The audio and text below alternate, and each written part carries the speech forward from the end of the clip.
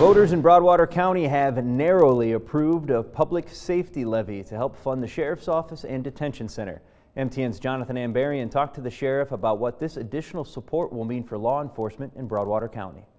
Broadwater County Sheriff Wynn Meehan says he was gratified when he saw the final vote totals on the public safety levy. For us, I think it was a huge stress relief. I know I felt a lot of appreciation to the community for supporting it. I know it's hard to, to do a self-tax upon yourself. I get it, but I was glad we got the support and it passed.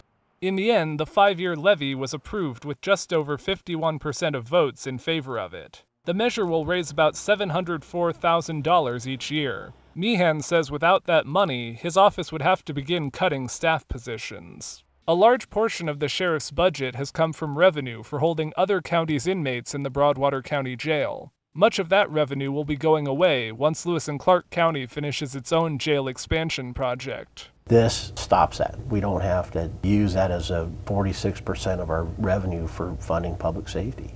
Since the levy campaign began, the Sheriff's Office has lost one patrol deputy, two detention center staff, and one dispatcher. And they haven't refilled those positions because of the uncertainty around funding. Now they're able to begin rehiring for those positions. So basically, it's going to take us back to the level of manpower we had when we started this endeavor.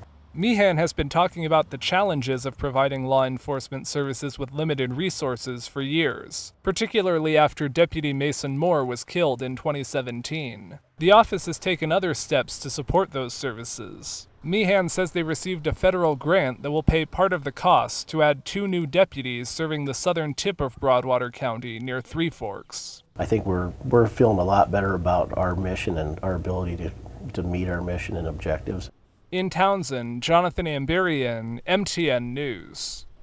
Broadwater County has put together a Citizens Advisory Board to look at the Sheriff's Office budget, and Meehan says they will work with the board in the next few years to determine if they need to continue this levy, decrease it, or let it expire.